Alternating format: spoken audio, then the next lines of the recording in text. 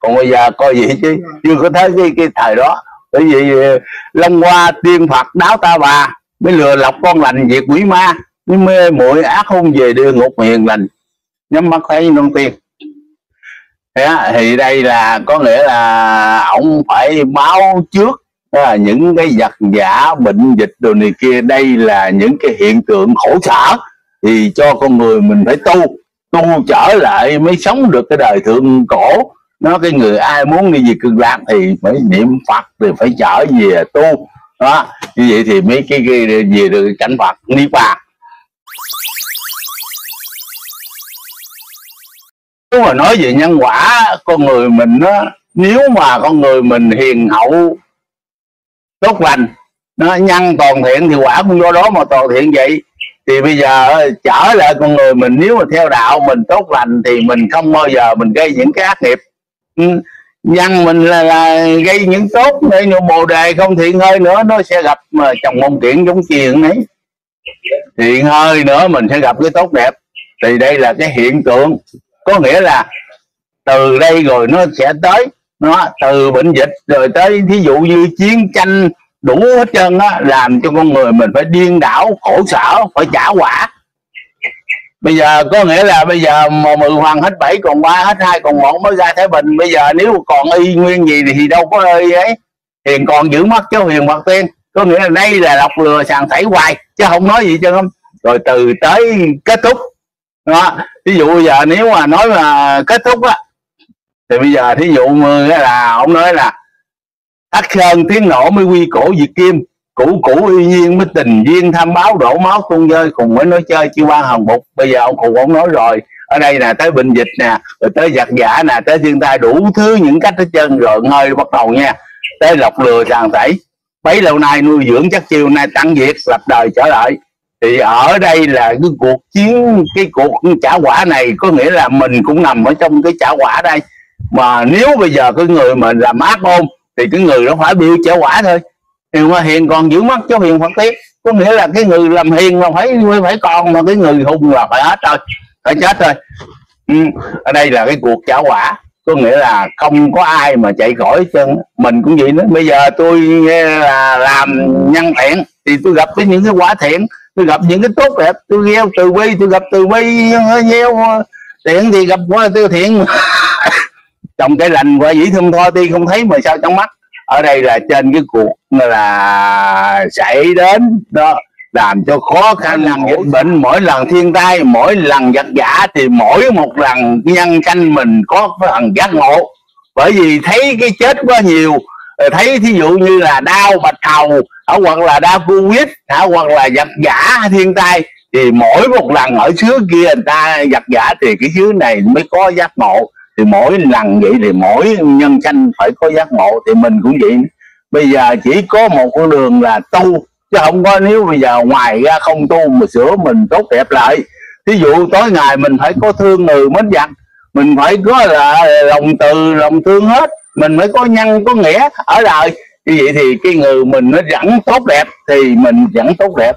Nhân toàn thiện thì quả cũng vô đó mà toàn thiện vậy thì cái này là không bao giờ những ai mà tránh khỏi thì coi như đây là những cái ông hoặc ông báo trước. Năm nay là 1939 năm nay là 85 năm.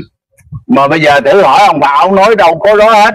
Thì bây giờ nó, nó xảy ra nó từ từ từ nó xảy ra là ờ, làm than khói lửa với binh đao âu á lung tung nhợm máu đào. Bá tánh sai xưa mùi phú quý sau này sẽ dướng cảnh đồ lao. Đồ lao muốn tránh sớm nghe ta bố thí trì trai giữ giới mà Phật đạo trao dồi tâm tánh lại.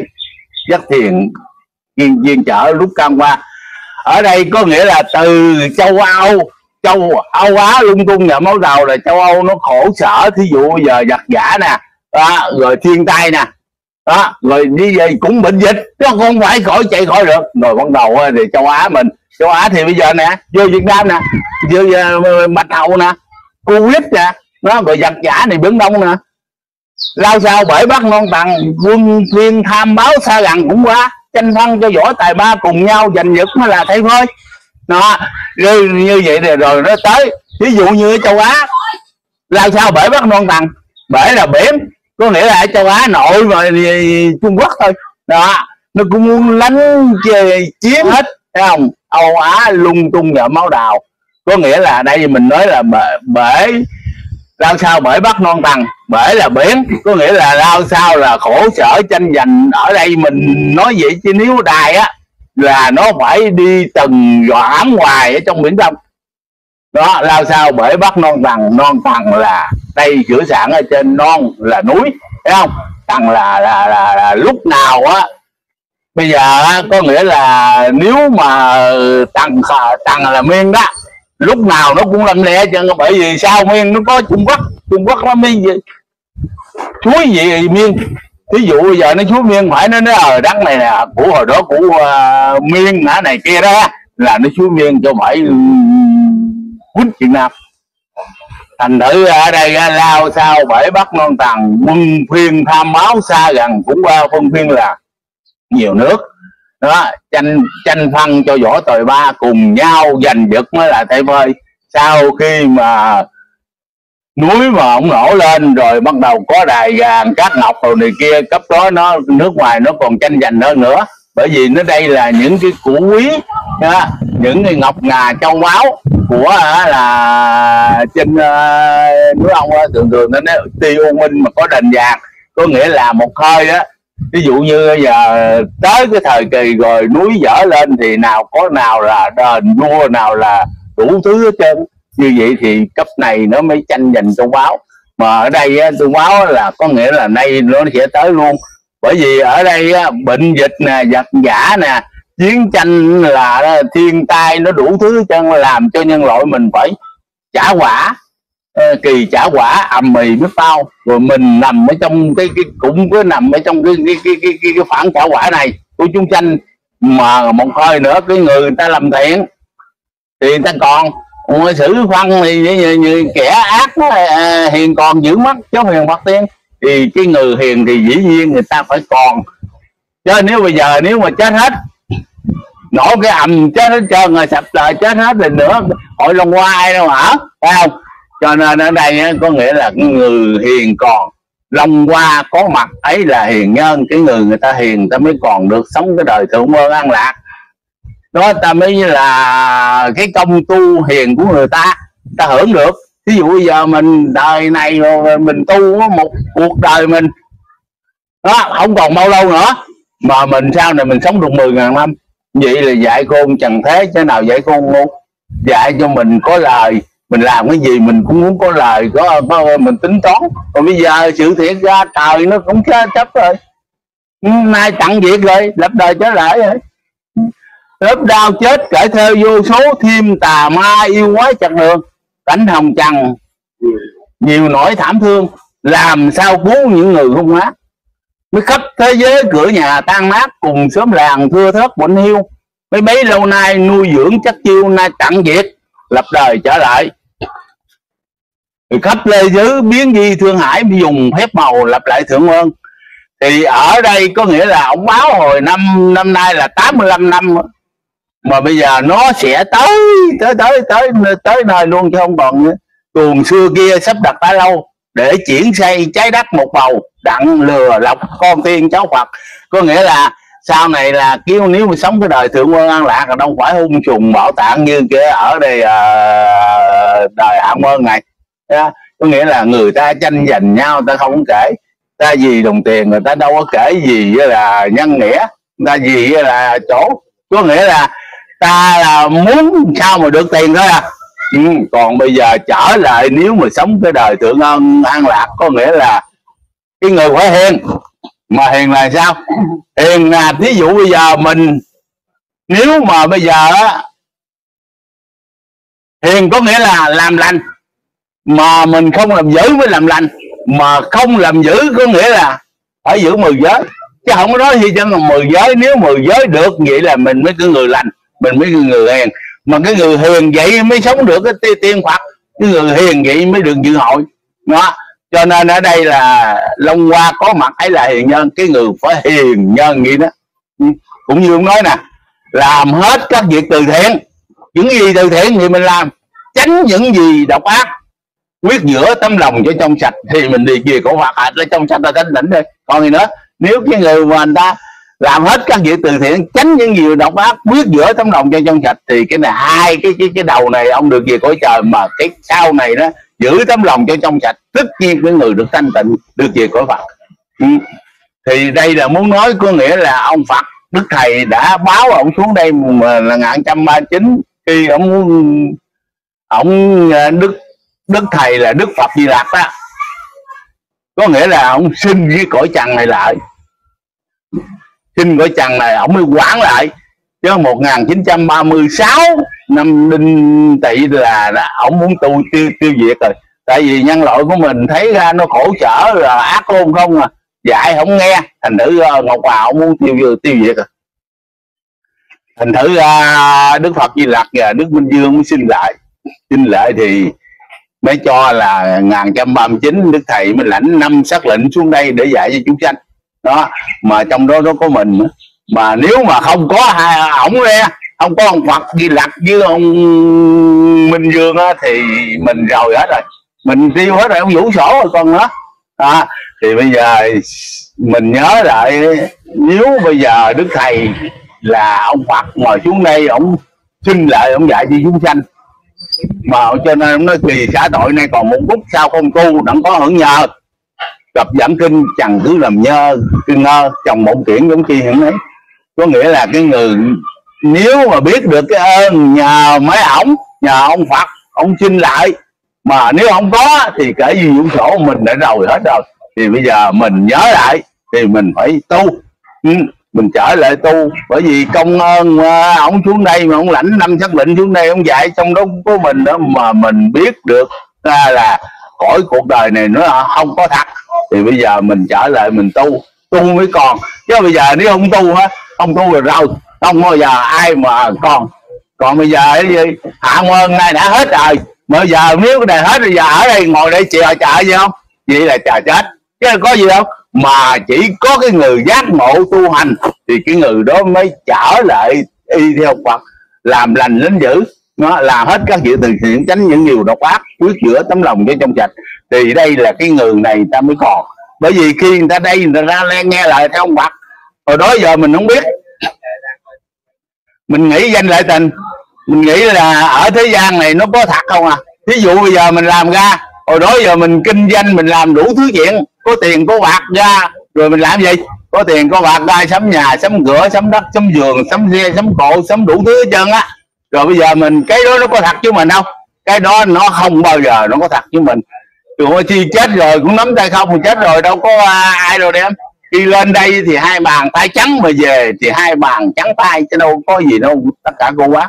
Đó, thì ở đây nếu cái người mà biết trở lại mình không có bỏ hết những cái danh lợi tình, bỏ hết những cái tham sân si ở trong lòng mình, thì cái người mình mới trở lại đây giống ông Phật trở đây hiền lành mới giống được ông Phật. Chứ bây giờ, nếu bây giờ mình không bỏ cái này, hồi đó giờ mình lo mình danh nè, không danh thì lợi, không lợi thì tình, thì cái ba cái này nó đã dính níu mình rồi, thêm cái nữa.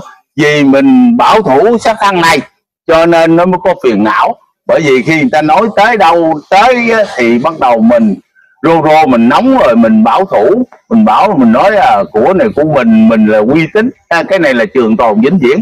Mà sự thiện cái này nó đâu có chuyện chuyện uh, ờ, trường tồn vĩnh viễn. Ừ. thì cái này là tại vì mình chấp cho nên bây giờ ông nói có nghĩa là nếu bây giờ cái người mà không chấp sát thân à, cái người vô ngã vô ngã tất nhiên là ta không có chấp ngã ta không có chấp sát thân này cái sát thân này tứ lại hiệp thành mà chấp đi. Ai lợi đụng tới mình thì mình rô rô mình nóng mình căng hẳn thì cái đó tại vì mình chấp sát thân mình còn bảo thủ. Đó cho nên bây giờ nếu cái người mà nhận được biết được chân lý biết được sự không có thật thì cái này á mình nên bỏ. Cho nên á, những cái danh lợi tình thì mình đã dứt bỏ đi rồi mình trở lại. Có nghĩa là mình vô ngã vô ngã có nghĩa là xác thân này giàu có ai có nói gì nữa thì sắc thân này thôi tứ đại hợp thành thế nào cũng có ngày tan giả nếu đặng vậy ta mới bỏ hết những sự xúc động những mối dục tình những điều đi khổ vô nó gây nên. Còn bây giờ mình trở lại cái tâm mình làm chủ thì tâm mình từ bi bất ái lúc nào mình nhân nghĩa à, dạng còn thì cái này cái người mình tốt đẹp. Còn hơi nữa là nếu mà giờ nhắm mắt thì là mình thì cũng về cõi Phật cõi tiên chứ không bao giờ mình à, ở dưới trần gian này nữa. Bởi vì ở trần gian này ta, ta bỏ hết rồi những cái danh lợi tình và những cái là sát thân mình nè sát thân mình nó đâu có gì đâu phải không?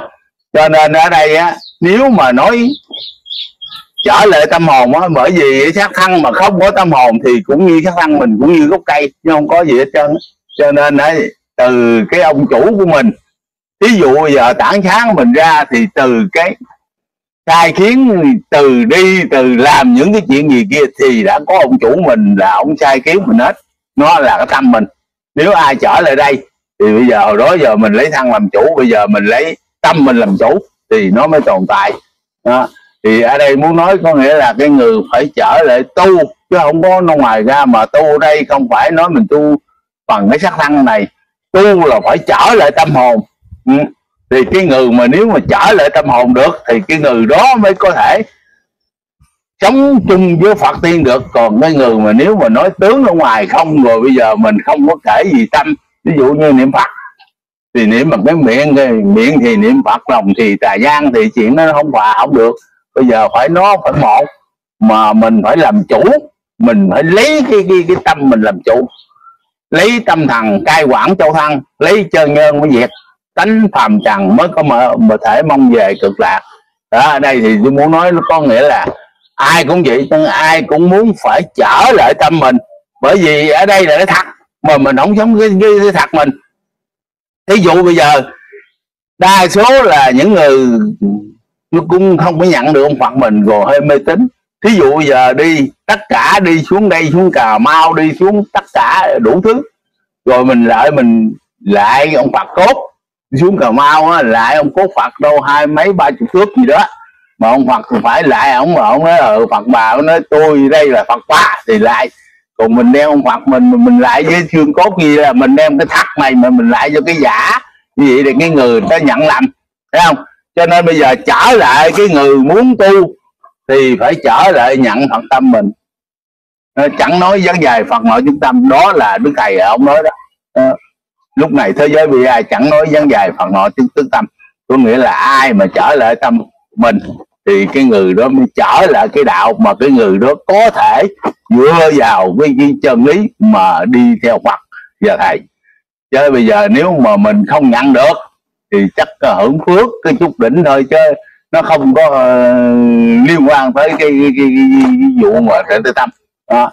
À, thì đây là muốn nói là dạ. uh, đời thì ông à, thì giờ muốn hỏi là theo như mình nghĩ là thầy đã có cái sự mà tiên tri cho biết trước sau này cái cảnh mà à, như đức thầy có nói một câu à, à, về cái sự nãy chú nói đau rồi đó là thấy rõ rồi đó. Nhưng mà bây giờ nó có một cái chuyện xảy đến nữa là ví dụ như đức thầy nói là à, sau đến việc sơn băng kiệt thủy à, cùng thảm thương bá tánh quá chừng. Như vậy là sau đến việc sơn băng kiệt thủy là ý đức thầy nói như vậy là sơn băng mà tại sao kiệt thủy nữa? Ừ.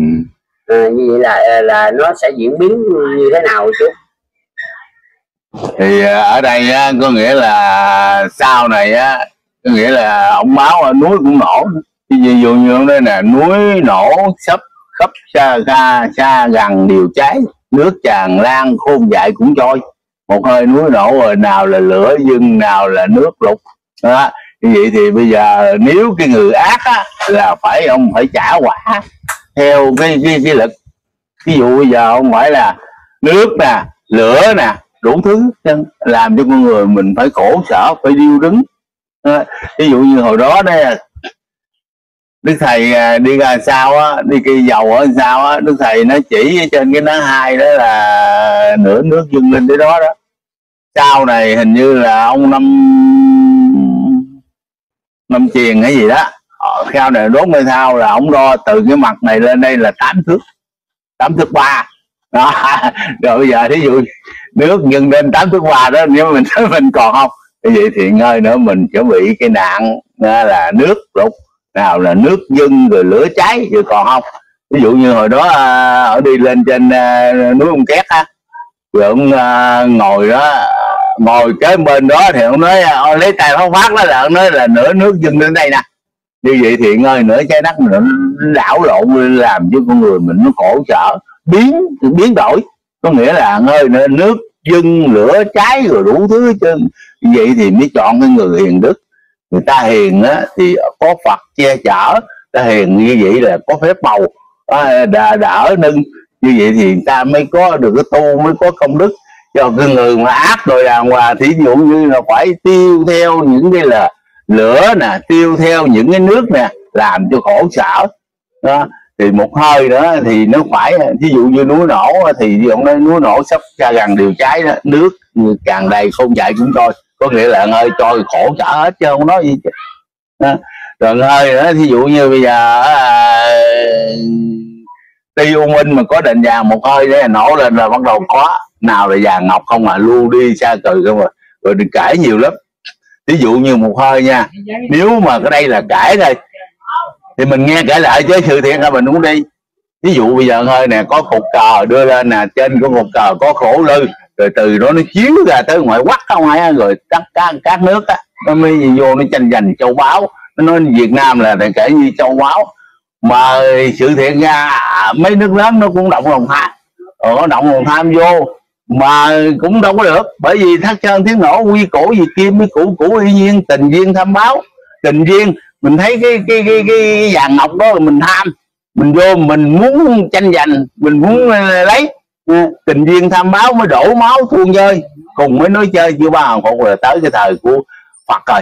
Tới cái thời ông phật thì tự nhiên ở đâu nó cũng có lớp. Bởi vì đây là cái người nào mà tu á, thì cái người đó ta sắp đặt đó rõ ràng nào có vua có chúa có thánh thần có là chư hầu đồ này kia. Rồi đâu người ta đi ship vào đó nhưng mình giờ trong thế gian mà. Mà bây giờ mình dán tu đi tu thì mình cũng có nằm ở trong lớp đó. Chứ không không có không có gì lạ chứ thiên kẻ thế hướng thiện, ngoài đầu cải đà quý chánh với môn thiên đình, ăn xá nó bớt tội căn mới kịp đến long qua chầu phật. Trước biết rõ lực, trời tương phạt cùng ngũ duyên nghe phật pháp nhiệm màu. Mới kiến diện bực chân dư, tu hành mau đắc quả. Sao làm nhân phận quá hưởng sự thế bình có nghĩa là một hơi nữa, nếu mình được dự hội, thì ở đây nè, có phật, có tiên nè, có đủ. Trên rồi mình muốn tu thì đây nè, có ông chỉ đường. Còn bây giờ nhất định cái người tu, mà nếu không về cực lạc được thì cũng phải tất cả thế giới này ai cũng phải hội dự hội dự hội để gì? Để có tiên phật ở đó. Đó ông chỉ, chỉ mình. Đó, tu mình muốn về, về cực lạc muốn gì đâu đây có phật tiên. Còn bây giờ coi gì chứ? Chưa có thấy cái, cái thời đó. Bởi vì ờ, long hoa tiên phật đáo ta bà mới lừa lọc con lành diệt quỷ ma mới mê muội ác hung về đưa ngục hiền lành. Nhắm mắt thấy non tiên. Thế thì đây là có nghĩa là ông phải báo trước à, những cái giặc giả bệnh dịch đồ này kia đây là những cái hiện tượng khổ sở. Thì cho con người mình phải tu tu trở lại mới sống được cái đời thượng cổ. Nó cái người ai muốn đi về cực lạc thì phải niệm phật thì phải trở về tu. Đó như vậy thì mấy cái, cái về được cái cảnh phật niết bàn đó, thì ở đây là có nghĩa là ổng báo trước năm nay là 85 năm mà thì đây nó sẽ để ghẻ sắp đến. Ừ rồi. Giờ à, theo như mà mình nghĩ là đức thầy có nói là lời truyền sẵn như bài toán đấu đó. À. thì là là toán đấu mà, mà tại sao là ngài nói là bài toán đấu à, theo uh, mỗi người đều có, có cái ý nghĩ. Theo tôi thì uh, lời truyền sấm như bài toán đố ai biết tầm thì đặng hưởng nhờ. Ừ. thì có nghĩa là nếu mà nói cái bài toán đố việt việt nam á, thí dụ như hồi đó đức thầy ông nói đố nha, ông lấy miếng giấy, ông nói hai lần, hai là mấy? Kia nó hai lần, hai là bốn. Ông lấy chẻ cái ông lấy cái hai lần lại, hai là ba. Thấy không? Cái bài toán đố. Mà ở đây sự thiện ra bài tống đố nếu mà nói mà như mà hấp, thì bài tống đố nó có một cái lời giải ra. Con cái đáp số nếu cái người mà đáp số được thì cái người đó mới trúng. Còn ta nói trên cái lời giải này mà mình không đáp số trúng á ông Phật ông nói thì mình phải đáp số đúng mình mới đi vào chỗ đúng cái này mới được. Ví dụ bây giờ có nghĩa là đáp số là gì? Ông phật ông xuống đây ngoài ra ông không có dạy mình là ra những cái, cái biển khổ. Bởi vì mình nằm ở trong cõi ta bà này khổ. Đức phật nghe thấy mình khổ cho nên đức phật muốn chỉ đường mình ra khỏi khổ à, lời giải có nghĩa là cái người phải biết được chân lý cái người phải tu chứ không nói gì chân. Bây giờ thay vì thí dụ như à ông nói là nhân đạo tiên đạo phật đạo mà cái người phải giải thoát. À, phải hiểu được vậy thì cái người này là mới có thể đạt được. À, là, là, là tốn đố chứ bây giờ là nó nó không có gì lạ. Bây giờ đức phật xuống đây dạy mình trở lại tu là tu phật tu tiên tu cho rõ biết chữ hiền ra sao mình làm ngư làm ngư là mình giữ được năm giới là tam quy ngũ giới rồi. Đó đức thầy ngũ à, đức thầy là, là tam ca ngũ thường rồi. Tam ca ngũ thường bằng cái ta, tam quy ngũ giới. Thì bây giờ cái người mà người giữ được cái là tam quy ngũ giới này cái người đó được làm ngự à, còn muốn thêm nữa thì cái người muốn làm tiên thì phải ngự giữ mười giới. Thấy không? Thì cái người giữ mười giới thì cái người đó mới được về cánh tiên còn cái người mà không còn nghĩ lành nghĩ dữ không còn nói phải quấy tốt xấu nữa thì người này được, được ta, ta đâu còn muốn ở đây ờ, hưởng phước nữa. Thì ta làm phước mà ta không nghĩ phước nữa. Như vậy thì cái người này ta mới được giải thoát. Và cái người mà đạt được gì đó nếu hiểu được cái chân lý thì cái người đó mới giải được bài tổng đố. Còn bây giờ ông ờ, ờ, theo ý tôi là vậy. Nếu cái người hiểu được vậy thì cái người đó giải thoát. Người giải thoát là cái hiểu được cái chân lý ừ. dạ thì uh, theo mình nghĩ đó là Vinh nói thì rất hay rồi nhưng mà con cái thầy nói là uh, tiên cơ uh, uh, số mạng biết chi mà sao chẳng chịu chạy đi cho rồi đó là thầy ừ. nói là thiên cơ số mạng biết chi đó chứ ừ. mà sao chẳng chịu chạy đi cho rồi ý nghĩa sao ở đây uh, thiên cơ nó có nhiều thiên cơ thời cuộc thiên cơ số mạng thí dụ bây giờ có nghĩa là mình cũng phải biết nè thiên cơ số mạng biết chi. Tại vì số mạng mình biết rồi số mạng của của, của con người mình ha ví dụ bây giờ mình à, sống ở trên cái mạng sống này là bị sanh lão bệnh tử. Mình biết chi rồi. Tại sao mình không chạy đi vô khỏi mình không còn sanh tử nữa? Mình ở đây mình nếm nó. Tại vì mình mắc kẹt ở đây mình còn chấp ở đây. Thành thử ra mình còn khổ. Còn cái người mà khi người ta thiên cơ số mạng số mạng đã biết rồi. Số mạng này theo sanh lão bệnh tử mà sao mình không chạy ra khỏi những cái sanh lão bệnh tử này mà mình còn nắm ở đây. Thì nắm ở đây thì phải khổ trong cái sanh lão bệnh tử. Còn khi mà ta không biết á, ta biết á, thì ông nói nè, bỏ hết đài cát xa qua thăng mình tự chủ. Thăng mình còn tự chủ gì nữa? Đó là nó nó bị sanh tử. Bỏ hết đài cát xa qua thăng mình tự chủ và tìm chỗ bất diệt bất sanh bất diệt bất sanh có nghĩa là trở lên tâm hồn mình chứ nó không đâu có sai sai đó. Nghĩ là mấy bất diệt bất sanh mới thiền định đang làm thể trí huệ đang làm mạng linh hồn nhập liên qua siêu sanh vào cõi niết bàn. Đã ở đây là ông chỉ một cách tu. Cho mình tu ở đây là mình được về sống tự thực tại ở thế gian. Có nghĩa là cái người đạt được. Đó, vậy là cái người đó như sống niết bàn. Niết bàn tịch tịnh là đường vô sanh à, nếu bây giờ ai mà là thiền định đặt làm thể chiếu huệ đặt làm mạng linh hồn nhập liên qua siêu sanh vào cõi nước bàn thì cái người đó người ta ở thế gian người ta đâu còn mắc tọt nữa. Bỏ hết đài cát xa qua thân mình tự chủ. Có nghĩa là thế thân phải làm chủ rồi đó giờ nè. Nhà cao cửa rộng nào là xe hơi nhà lầu cái thân mình làm chủ. Bây giờ ông bỏ hết đài cát xa qua thân mình tự chủ. Phải tìm chỗ bất diệt bất sanh. Bất diệt bất sanh có nghĩa là trở lại tâm mình không có gì lạ bởi vì đó giờ mình lấy sát thân làm chủ. Rồi bây giờ ông chỉ cách tu. Cái thiền định đặt làm thể, chiếu huệ đặt làm mạng, linh hồn, nhập, liên qua siêu sanh và khỏi nước bàn. Cái người làm y như vậy thì cái người ta đã đã chứng đắc ở thế gian. Đó, thì cái người đó giàu đứng nín thở giác nào thì ta cũng được giải thoát. Lại vì người ta được là trở về nước bàn. Ừ. tìm con đường giải thoát cho mình bằng cách lạc đạo bằng xả thân tu tỉnh thì cái người đó ta trở lại đây là ta thanh tịnh rồi. Đó, thì theo tôi nghĩ nếu cái người mà số mạng biết chi đây là nói thiên cơ không phải nói thiên cơ số mạng của mình chứ không phải thiên cơ thời cuộc. Thiên cơ thời cuộc thì ông nói ờ năm này tới năm kia tới à, xuống nổ rồi này kia đây là ông nói số mạng của mình. Và số mạng của mình cái gì? Số mạng của mình xích lão bình tử thế nào không danh lão bình tử. Thấy không? Nhưng sao nói số mạng còn nếu mà nói trở lại tâm mình là không có số mạng gì? Sống hoài không chết. Nó bắt diệt bắt sanh thì ở đây nó mới trở lại trường tồn nếu cái người mà trở lại tâm mình thì cái người đó ta mới thiệt là đạo mà cái người đó là ta sống mới bắt tranh bắt diệt ừ. dạ thì à, thời gian của hẹn nó chốt thì à. video cũng dài thì à, để kết thúc video này chúc có gửi là gì tất cả quý bà bác thành viên của đồng nam chốt nó môi được rồi à. Nam mô Bổn sư Thích Ca Mâu Ni Phật. Nam mô A Di Đà Phật. À, tôi xin chia sẻ cái clip này cho toàn thể chú quý vị. Nếu quý vị nào nghe cái clip này có gì sơ sức thì mong quý vị thông cảm.